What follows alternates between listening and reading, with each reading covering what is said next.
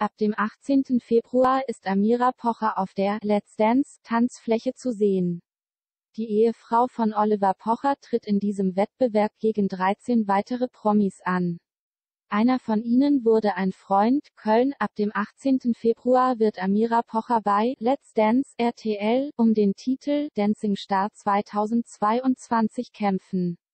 Die Konkurrenz schläft bekanntlich nicht, und der 29-Jährige wird gegen 13 weitere Promis antreten.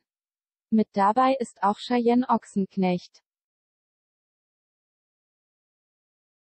Die Amira in der Vergangenheit kontaktiert hat. Amira Pocher hat bei Let's Dance Kontakt zu einer Konkurrentin aufgenommen. Amira Pocher, 29, will Dancing Star 2022 gewinnen und allen bei Let's Dance RTL zeigen, wie sie das kann.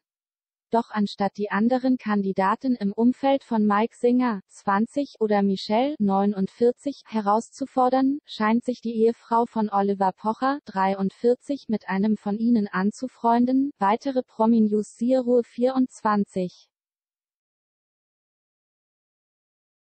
Cheyenne Ochsenknecht 21 ist die betroffene Person. Wie die 29-Jährige in ihrem Podcast Die Pochers hier verriet. AudioNow soll sie via Instagram eine Nachricht an Amira geschickt haben.